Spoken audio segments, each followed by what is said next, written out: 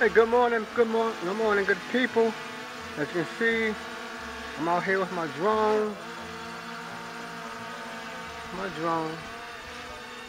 And I thought a couple days ago, the best way to test for obstacle avoidance is, uh, hey, a lot of people, they fly their drone to the side of the house. But if the obstacle avoidance don't work, the drone hit the house and there go your propellers. So yesterday occurred to me when I made my obstacle avoidance test, but it was I just went for the front view. Today I'm going to test on the side view and the back view, my obstacle avoidance.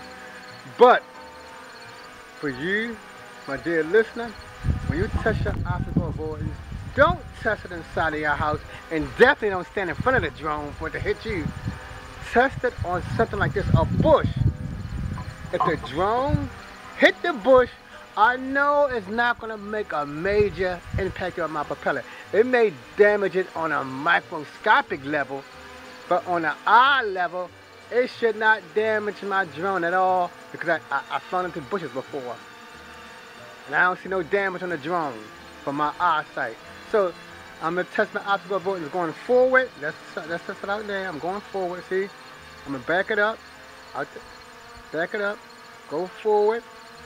You see it's going slow, going slow. It won't, I guess obstacle avoidance at a certain distance. You see, it's back up again. It's way up. I back it up. And this is front obstacle avoidance. The front obstacle avoidance is working. It's working. It's not going forward at all. I'm pushing forward.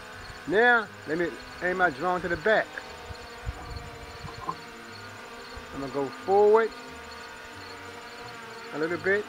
You see it went forward freely. And I'm to come back. Let's see how the back obstacle avoidance works. Okay. It's working again. Now I'm to push it to the side. Move away. And that's the side facing in my direction. Then I have it facing me, as you can see it's facing. Let me see, this my drone. I did that people trash can. Okay, I'm just seeing if I see my drone, okay. I just seen on people trash can. It's facing me.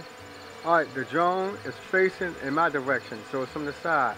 Let's see if the obstacle avoidance works. This thing was working already. Okay, so that's the side obstacle avoidance. So it worked from the front, it working from the back. Now let me go. I'm gonna have the drone facing me now. I'm moving, moving away from me. Not the, out the picture, maybe out the picture a little bit. I'm gonna bring it back towards me.